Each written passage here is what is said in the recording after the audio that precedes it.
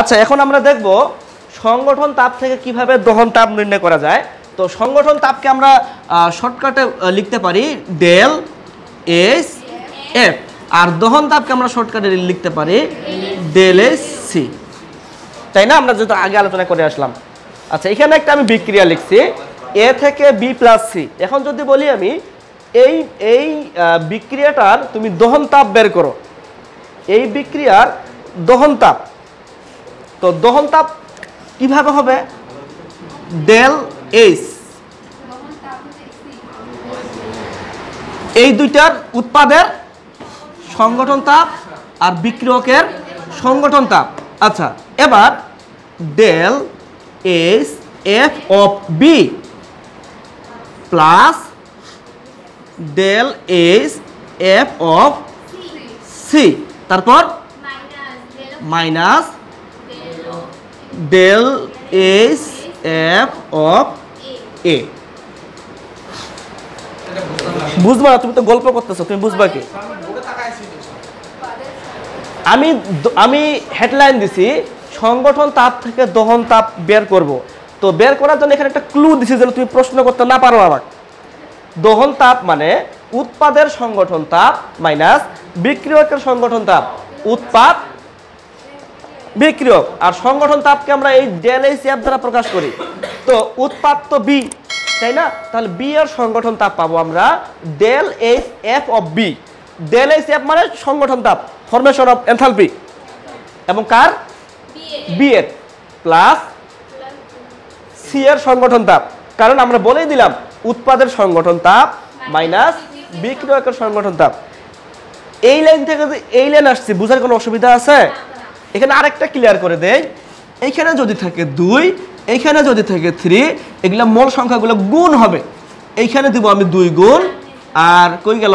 B এখানে দিব আমি থ্রি গুণ। বোঝা গেছে? আচ্ছা। তার মানে যদি গুণ অবস্থা থাকে কোনো মল সংখ্যা সেগুলো কিন্তু এইখানে গুণ অবস্থায় থাকবে।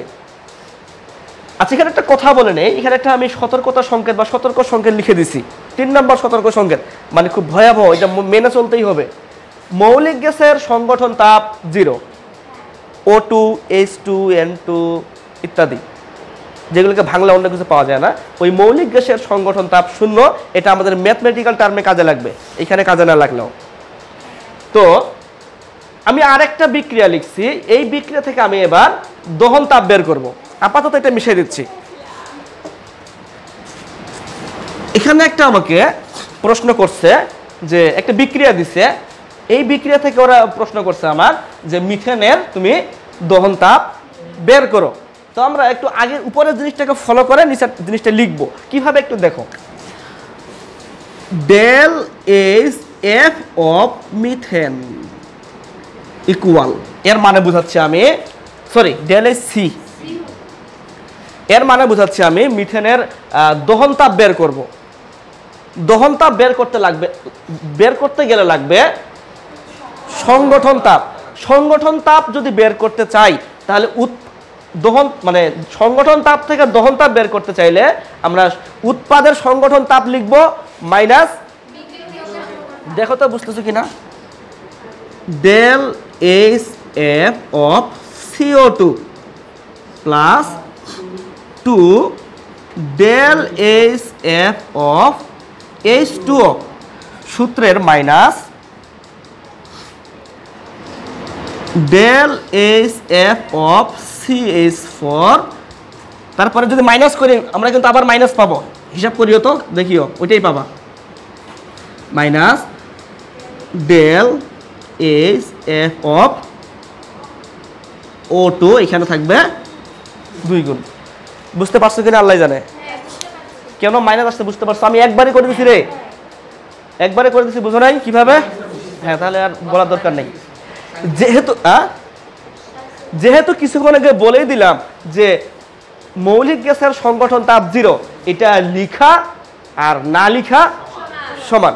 আমরা না না লিখলে ভালো, নাহলে বিরক্ত মানে কেমন হচ্ছে? আমরা লিখব না মোটামুটি। যখন আমরা ম্যাথ করব, তখন এই জিনিসটা লিখব না। এখানে এইচ টু থাকতে পারে ও টু থাকতে পারে, বেশিরভাগ ও টু থাকে। অর্থাৎ মৌলিক গ্যাস আমরা লিখব না। যেহেতু এর মানই শূন্য, লিখা আর না লিখা সমান। আচ্ছা এখন বুঝতে পারছ যে দুইগুলা কোথায় গুণ দিছি আমি। এই যে দুই গুণ দিছি, পানির এখানে দুই কোথায় এই যে দুই গুণ দিছি। বোঝা গেছে? তাহলে আমরা এইটুকু শিওর হইলাম যে সংগঠন তাপ থেকে কীভাবে দহন তাপ নির্ণয় করতে হয়। দহন তাপ, ডেল এইচ সি, সংগঠন তাপ কই সংগঠন তাপকে প্রকাশ করা হয় ডেল এইচ এফ। এইটুকু বোঝা গেছে? এইটুকু যদি বোঝা যায়, এরপরে আমরা একটু ম্যাথমেটিক্যাল টার্মে চলে যাব ওকে আচ্ছা তাহলে এবার দেখব আমরা সংগঠন তাপ থেকে কীভাবে দহন তাপ নির্ণয় করা যায়। আমরা এখানে একটা ম্যাথমেটিক্যাল টার্ম দেখতেছি। তো দহন তাপকে প্রকাশ করা হয় ডেল এইচ সি দিয়ে, আর সংগঠন তাপকে প্রকাশ করা হয় ডেল এইচ এফ দ্বারা। তো এই ম্যাথমেটিক্যাল টার্মে একটু সবাই লক্ষ্য করো। এখানে কিছু মান দেওয়া আছে। Del H F of H two O অর্থাৎ পানির সংগঠন তাপ এটা। Del H F CO two carbon ডাইঅক্সাইডের সংগঠন তাপ এটা এবং del H F CH four অর্থাৎ মিথেনের সংগঠন তাপ এটা। প্রশ্ন করছে, মিথেনের দহন তাপ নির্ণয় করো। তো বিক- আমরা আগে বিক্রিয়াটা কমপ্লিট করব। ফার্স্ট যে কাজটা, বিক্রিয়াটা কমপ্লিট করব। যেমন, মিথেনের সাথে অক্সিজেন আচ্ছা যেহেতু দহন তাপ নির্ণয় করতে বলতেছে, তার মানে অবশ্যই দহন বিক্রিয়া দহন বিক্রিয়া, আর দহন বিক্রিয়া মানে কি? মিথেনের সাথে কার্বন ডাইঅক্সাইড, পানি। এখন আমাদের যে কাজ হবে কি? সম তা, সমতা না করলে হবে? হবে না। তো সমতা যদি করতে চাই, তাহলে কি করতে হবে? এখানে দুই দিতে হবে নাকি? আর এখানে হয়েছে? আচ্ছা আমাকে কার দহন তাপ বের করতে বলছে? মিথেনের দহন তাপ দহন তাপ, মিথেনের দহন তাপ বের করতে বলছে, অর্থাৎ ডেল এ সি না বলো। সি। সি এইচ ফোর, মিথেনের দহন তাপ ইকুয়াল উৎপাদের সংগঠন তাপ মাইনাস বিক্রিয়কের সংগঠন তাপ। আচ্ছা এখানে একটা কথা কিন্তু আছে, দেখছ? এটা কিন্তু মৌলিক গ্যাস। এর সংগঠন তাপ কি? আমরা কিছুক্ষণ আগে বলে আসলাম। তাহলে এটা লিখা না লিখা একই কথা। আচ্ছা একটু লিখি আগে। Del H F CO two plus two. Del H F H two O. নিয়ম অনুযায়ী ঠিক আছে উৎপাদের সংগঠন তাপ মাইনাস বিক্রিয়কের সংগঠন তাপ। Del S F C H four. দেখো আমি এখানে মাইনাস দিয়ে অক্সিজেনটাকে লিখতে পারতাম। আচ্ছা লিখি। লিখি। Minus two del S F O two আচ্ছা উত্তর উত্তর কি হচ্ছে পরে দেখি। আগে দেখো যে এটা কি ঠিক আছে বসানোটা। সূত্র হচ্ছে বিক্রিয়ক উৎপাদের সংগঠন তাপ মাইনাস আরেকটু ইজি করে দেয় যারা একেবারেই বোঝো না। এটা ছিল এটা ছিল। তারপরে আমরা কি করলাম? প্লাজা মাইনাসে মাইনাস, প্লাজা মাইনাসে মাইনাস করে দিলাম। এটা আসছে। অর্থাৎ একটা লাইন আমরা ড্রপ দিছি। বোঝা গেছে না? আচ্ছা। এবার মান কিন্তু দেওয়া আছে, সংগঠন তাপ সিও টু এর।